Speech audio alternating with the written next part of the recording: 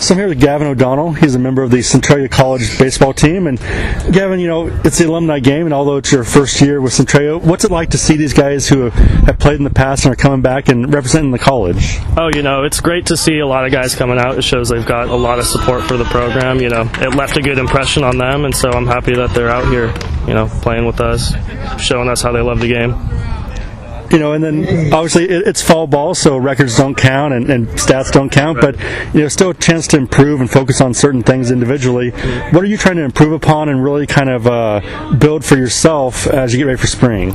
Um, you know, I'm a catcher, and so I'm behind the plate. I got got to be the leader out there, and so I'm kind of working on my leadership skills, being more vocal, you know, leading the team and doing what I can do back there.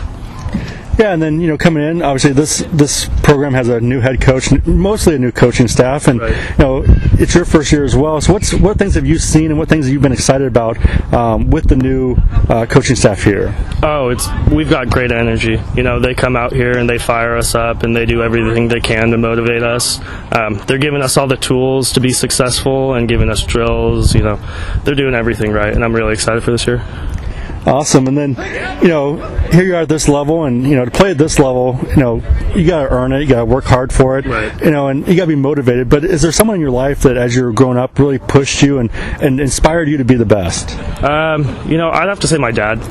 He he didn't play college baseball, but he felt like he should have, and he kind of you know, told me his regrets and wishing how he played and kind of just motivated me and just made me want to play.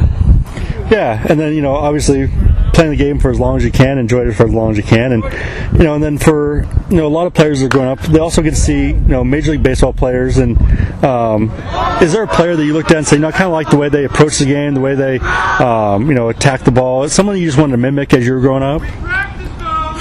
Um, I was always a fan of Yadi you know, he does everything right back there, man. It's just all the little things. Um, and so, you know, a lot of people don't notice all the little things. And I, growing up, I was always picking out those, like, just little tidbits that he did right and stuff like that. Yeah, probably one of the best, one of the greatest defensive catchers I've ever seen, um, and I've been able to see a few in my lifetime. So yeah, he's definitely definitely up there. I think he's a Hall of Famer as well. So um, you know, last question I have for you: You see a lot of kids running around the ballparks, obviously, and you know playing the game.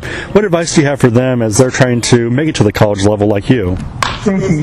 have fun with it. You know, there's plenty of programs, plenty of opportunities. You know, go out there, have a good time, um, and at the end of the day, you know, it's all about having fun. So, awesome. Well, thank you very much. Yeah, thank you.